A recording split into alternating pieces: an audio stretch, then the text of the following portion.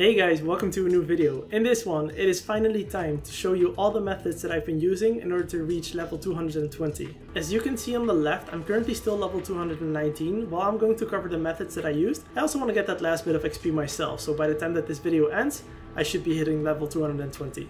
If you're wondering why I'm going on and on about that number, it's because when you go over to the battle pass, and then scroll over all the way to the right, you can see that there are specific skin styles that you unlock when reaching a certain level. And the holofoil variant for Ryan for Wolverine you unlock at level 220, and that's simultaneously going to be the last thing that you can unlock in this battle pass. Or at least for now, maybe they'll add more stuff later, but for now this is as far as you can go with in terms of unlocking stuff. I'm going to put some timestamps in the description so that you can quickly navigate to the method that I'm going to be covering. And if you want to come back to this video at a later time, it'll be easier for you to actually check the part that you need.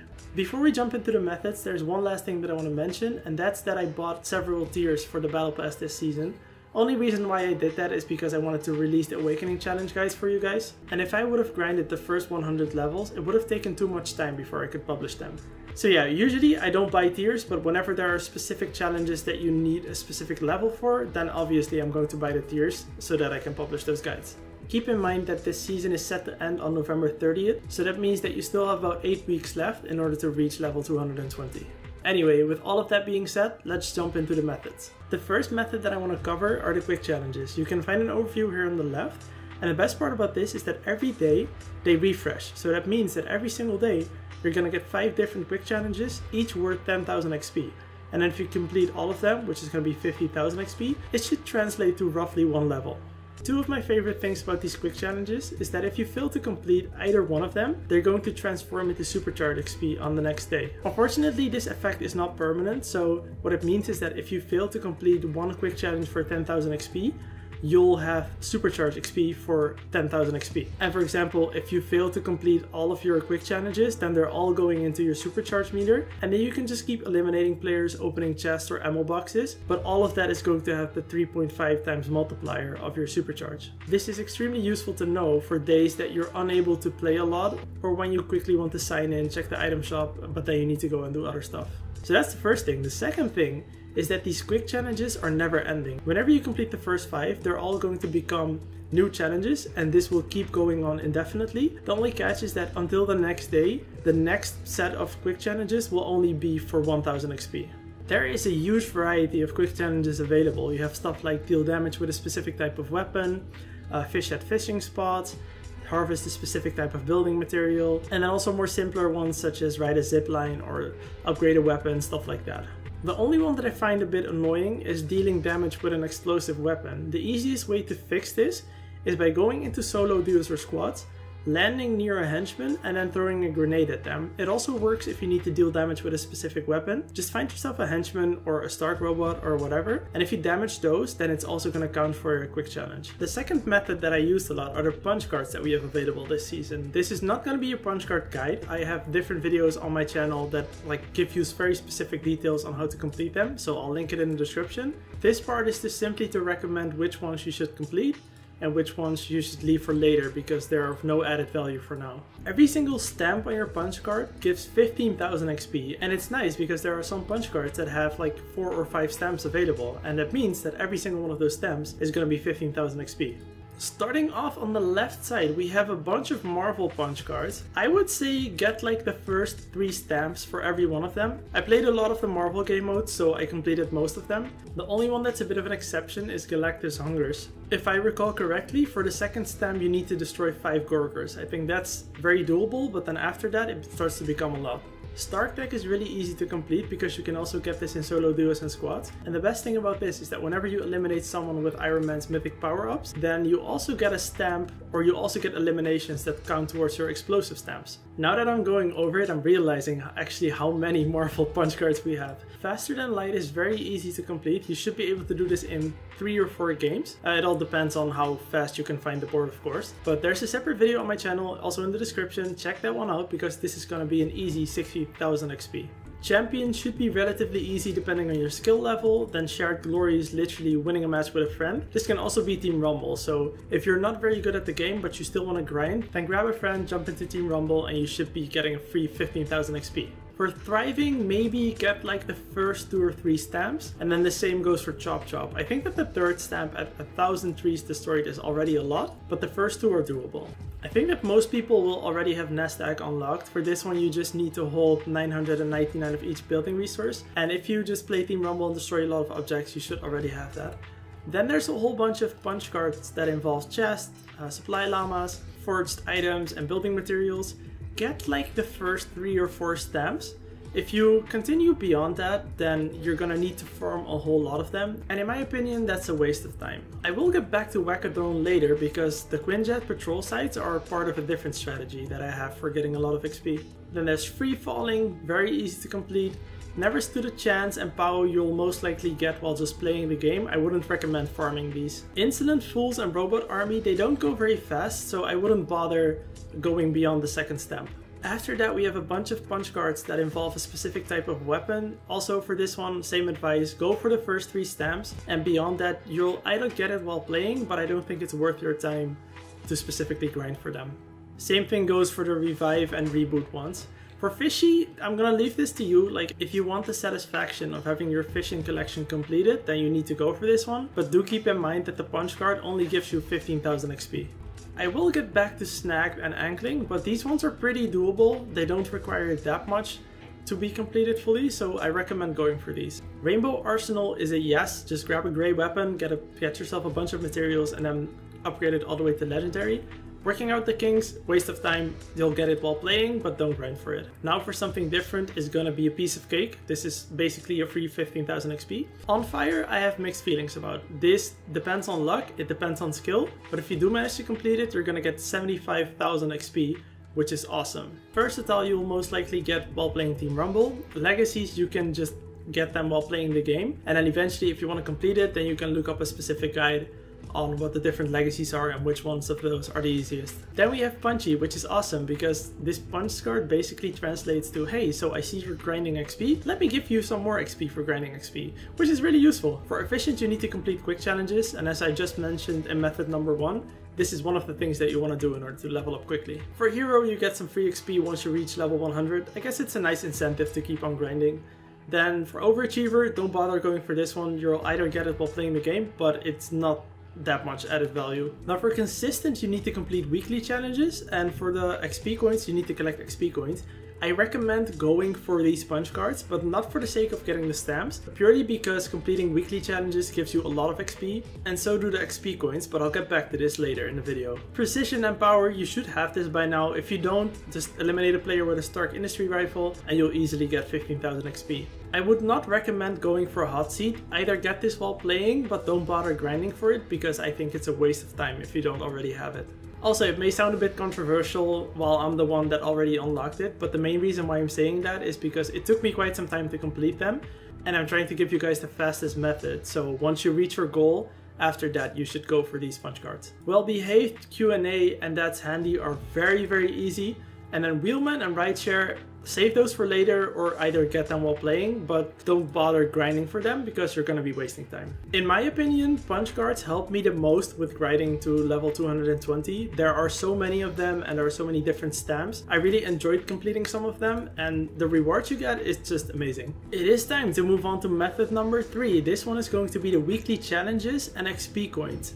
Every week, I think we're gonna have at least 10 guaranteed weeks We'll get seven different challenges. Uh, six of them will be worth 25,000 XP, and then the seventh one, it's going to be more difficult. Uh, they also recommend doing this with more players, but that challenge is going to be worth 50,000 XP. I make challenge guides every single week, so if there's a specific one you're stuck with, or if you just want to see how it's completed, just check out my recent videos and you should be able to figure out what to do and get yourself some nice XP. The rest of the challenges for this season are not available yet. Tomorrow we're gonna enter week 6, so once the challenges go live, you can start completing them. Next to the challenges, what we also get every week are a bunch of XP coins.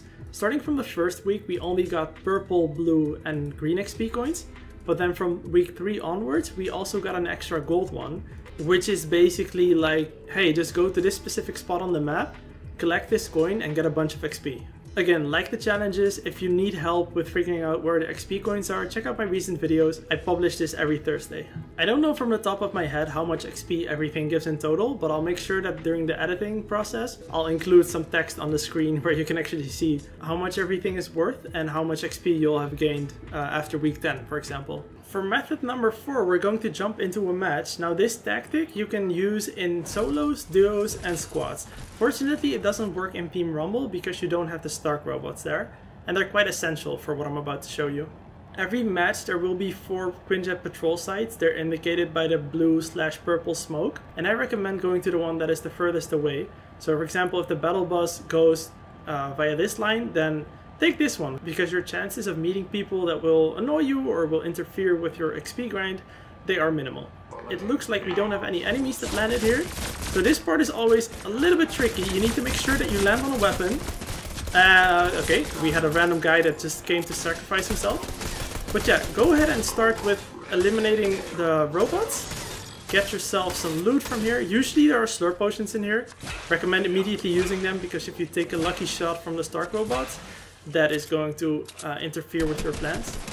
Alternatively, if you think this is too much risk, you can also land a bit further away uh, before you actually come over here. So you can grab yourself some weapons, maybe some healing items, and then start eliminating the Stark robots. Okay, so I think I only got some XP for opening the chest and eliminating that player. But after you've done that, after you've done your prep, start eliminating those robots, which all give you about 80 XP uh, so that's going to be five of them. And then shoot the drones, because those give you 145 XP. And this is quite nice. That's two, that's three. There should be a fourth one. I kind of lost him. Oh, there he is. Now here's the interesting part about this. The XP that you just saw, it wasn't a whole lot, but I would alternate between Team Rumble and between this method, since you can only do it in solo duos and squads. The main reason for that is that sometimes you have quick challenges such as damaging someone with explosives or eliminating Stark robots. And it's just much easier if you land at this Quinjet patrol site, eliminate those robots, also get some XP from the drones, and simultaneously complete your quick challenge because I definitely think Team Rumble is better for grinding XP. But if you get stuck with your quick challenges, then there's no use in staying with Team Rumble. The goal here is to optimize the amount of XP that you get per minute or per 10 minutes, not to get stuck in some boring endless cycle of opening chests.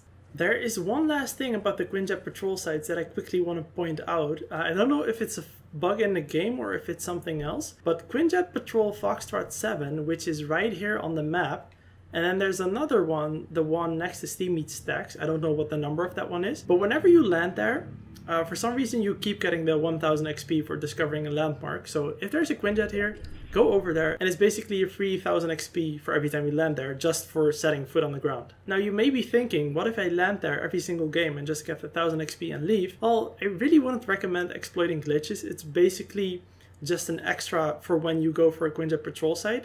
But besides that, there isn't much use to it. Also, starting up a game, landing there, and then leaving the game again, it's not very time efficient. Also, since it's only a 1000 XP. Now, I am going to stay in this game a little bit longer because then I'll complete my quick challenge for replacing top 10 in solo, duos, or squads. And after that, I'm to jump into the next method.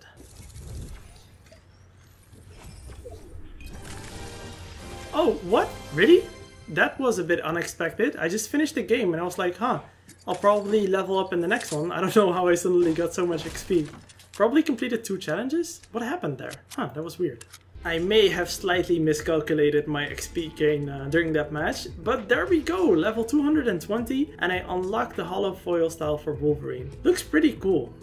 Yeah, I, I like this. You unlock the style for an item that you do not yet own. Well, we'll see about that tomorrow, won't we? Just gonna go ahead and claim this. Ah, I know what happened. I thought I only completed one of the quick challenges for 10,000 XP, but I apparently completed two of them. Alright you guys, time for the next method. This is going to be a combination of loot challenges and a loot path in Team Rumble. So there are a couple different locations where you can do it. The weather station is definitely my favorite and I'll show you uh, why. I hope that this guy is not going to interfere with that. It's probably going to go for the for the Quinjet. First thing you want to do is land here, grab yourself this chest. Then you're going to go down here, get yourself another chest. Basically, this method is to open a whole bunch of chests and ammo crates uh, within a single match. and that way you're gonna gather a bunch of XP. So yeah, he's actually gonna go over there, which is good because he's not gonna steal all of my chests. There is one here, there's another one here. The main reason why I would recommend doing this in Team Rumble is because the chests here, they're not affected by the, the nerfed chest spawn rate. So in here, every chest will always be there 100% of the time. After you're done with the small house and the chests outside, you're gonna come over here. I usually don't bother picking up the loot. I just literally open the boxes, get the XP, and then move on to the next one. Another chest right here.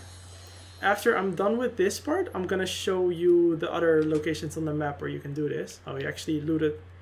There's supposedly a chest right there, but he already picked that one up. We're gonna go up here, and there is a last one that you can find here.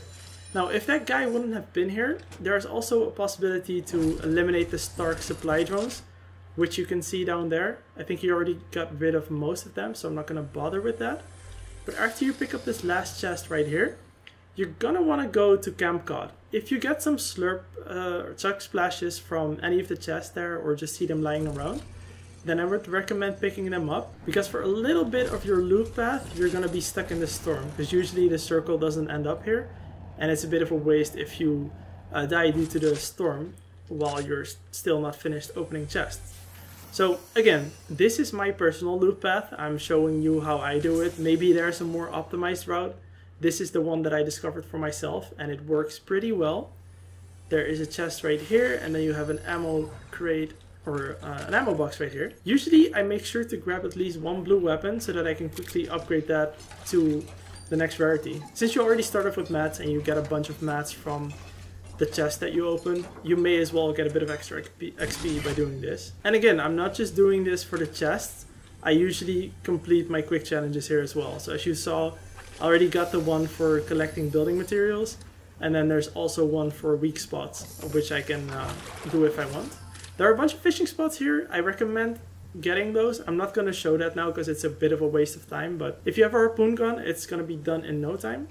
After you're done here, you're going to go up here, and then there is maybe an ammo box right here. Yep, this one doesn't always spawn. I don't know what's up with that. The chests, they are 100% accurate. But the ammo boxes, they are not. Then They're gonna come over here. My health is running out rapidly, so I need to figure out a way to, uh, to restore that a bit. There's a campfire right there. You could potentially get that. I'm kind of hoping for some chug splashes or medkit. Well, let me take this just so that I can continue showing uh, my loop path. Right, and then you're gonna build yourself a nice little ramp here. Go over to these tables, which have a bunch of ammo boxes. I know it doesn't seem like a lot of XP, but if you keep doing this, and if you just open up everything, it's gonna be around 3 to 4,000 XP every single match. And this loop path, it takes you about 5 minutes.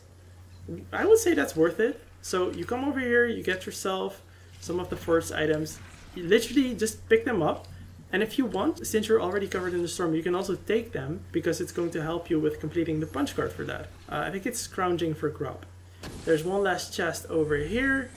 Loot that one. And this is where I'm usually done. If you want, you can also go over to that house. But when I've done this chest, I'm like, yeah, you know, I've pretty much seen it. I'm ready to go back to the circle and start eliminating people. Now, one thing you could do is just loot all of these chests, uh, use the fishing spots, and then leave the game and repeat.